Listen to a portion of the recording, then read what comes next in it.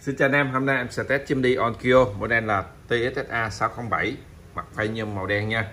Trong này thì nó sẽ có kết nối HDMI, anh em có thể chơi nhạc phim chất lượng cao từ nguồn phát HD từ bên ngoài và nó sẽ hỗ trợ các định dạng như là Dolby HD, test Master Audio, rồi cộng quang chơi nhạc mạng, nhạc trực tiếp từ Smart TV và cộng analog chơi nhạc từ đầu đĩa. Công suất của nó lên tới là 460W nha. Có equalizer bắt chép đầy đủ luôn, chơi nhạc bằng 7 kênh loa. Rồi cộng DVD à, đây là cặp mai nha.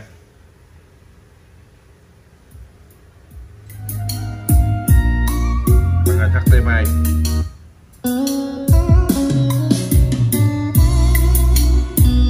Rồi cộng game. Analog quang. CD analog. Bắt chép nè.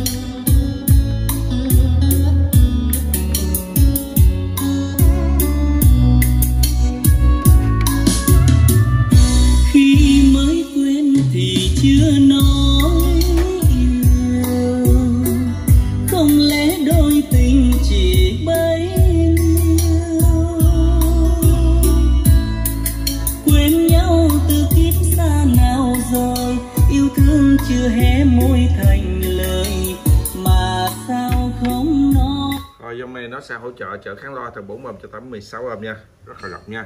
Hai loa chính nè loa surround. Rồi hai loa Starback